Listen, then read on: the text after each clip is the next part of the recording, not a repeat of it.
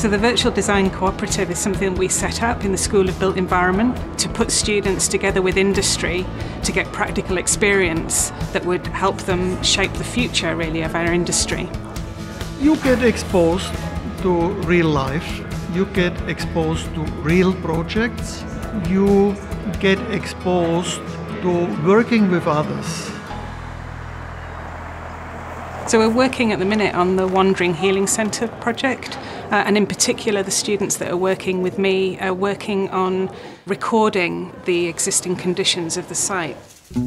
We've been asked to basically reimagine um, an old site that was used previously as a mission site for the Stolen Generation kids.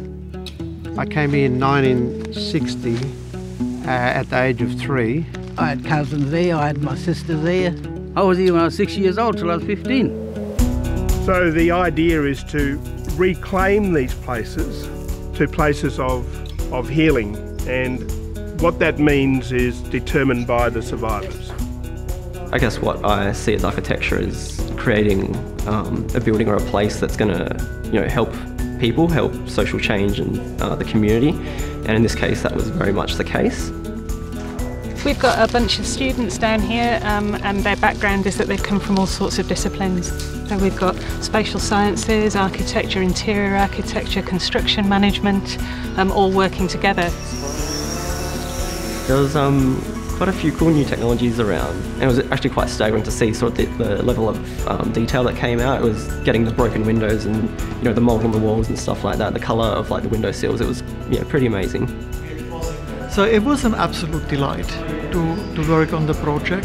It gave me a much better understanding of uh, where this generation that is right now in the university, where, where it is at, where we can support them and where we can learn from them. We've had some really extraordinary results in the past, particularly on the Perth Stadium project, where students have really taken on board the problems and put forward solutions that have actually been used by the industry partners.